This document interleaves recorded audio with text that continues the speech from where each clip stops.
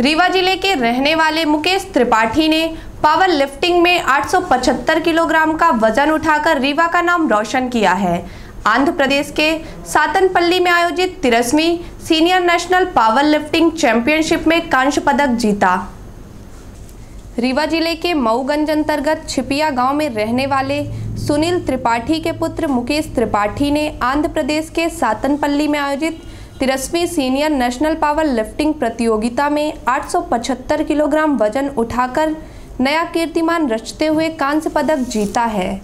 इसके पहले प्रदेश का कोई भी खिलाड़ी राष्ट्रीय, अंतर्राष्ट्रीय प्रतियोगिता में इतना वज़न नहीं उठा पाया है। यह अपने आप में एक नया रिकॉर्ड है। मुकेश को एशियन क्लासिक चैंपियनशिप में तीसरा स्थान भी मिल चुका है।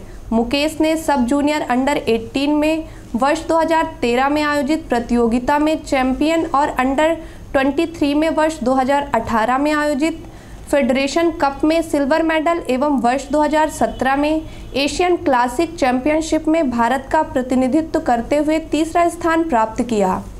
इसी प्रतिभा के आधार पर मुकेश का चयन नवंबर माह में होने जा रहे स्वीडन शहर के हलमस्टर शहर में होने वाली वर्ल्ड ओपन चैंपियनशिप के लिए हुआ है। जिसकी फ़ीस करीब डेढ़ लाख रुपए जमा करनी पड़ेगी, जो इस प्रतिभावान खिलाड़ी के लिए जमा करना मुश्किल है, जिसको लेकर मुकेश काफ़ी चिंतित हैं और उन्हें लगता है कि पैसों के अभाव के चलते वो स्वीडन में होने वाली प्रतियोगिता से वंचित रह जाएँगे। उनका कहना है कि सरकार की तरफ़ से उन्हें अभी तक कोई मदद नहीं मिली। वो चाहते हैं कि सरकार उनकी आर्थिक मदद कर दे और वो स्वीडन में होने जा रही अंतर्राष्ट्रीय प्रतियोगिता में भाग ले सकें। जिससे वो मध्य प्रदेश ही नहीं, इस बार भारत का भी नाम रोशन करें। शुरुआत जैसे मैंने अभी बताया मैं रीवा से जबलपुर गया था पढ़ाई के लिए। वहाँ पे गया तो लोगों को देखा, उन जिम में मेहनत करते हुए। मेरे से ज़्यादा वेट उठाते थे तो बोलते, मैं ये कर सकते हैं तो मैं क्यों नहीं कर सकता? इसके कारण मैं उस गेम में आया और फिर मेरे को, इस गेम में ही सब कुछ मतलब गेम में मेरे को आगे बढ़ने का था। उस चीज़ें मतलब सब मतलब मैंने टूर्नामेंट खेले और मुझे सफलता मिलती गई तो मैं आगे बढ़ता गया। मैं सुबह भी दो घंटे जिम करता हूँ और शाम को भी शाम को चार बजे जाता हूँ तो रात में नौ बजे घर तक घर में आता हूँ। उसी के आधार पे मेरा सिलेक्शन वर्ल्ड चैम्पियनशिप के लिए हुआ है स्वीडन में। कैसी तैयारी चल रही है?